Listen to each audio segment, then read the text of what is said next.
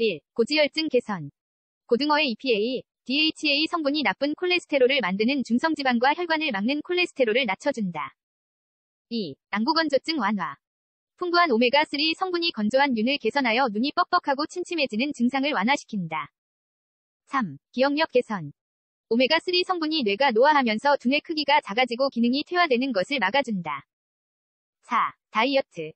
고등어는 고단백 저칼로리 식품으로 근육 손실을 방지하고 식욕을 억제시킨다. 5. 골다공증 예방. 풍부한 비타민 D 성분이 체내에 흡수된 칼슘을 뼈와 치아에 축적시켜 뼈를 튼튼하게 해준다. 6. 빈혈 개선. 철분이 부족하면 뇌에 충분한 산소 공급이 되지 않아 어지럼증, 호흡곤란, 피로감 증상이 유발된다. 고등어에는 철분이 풍부하다.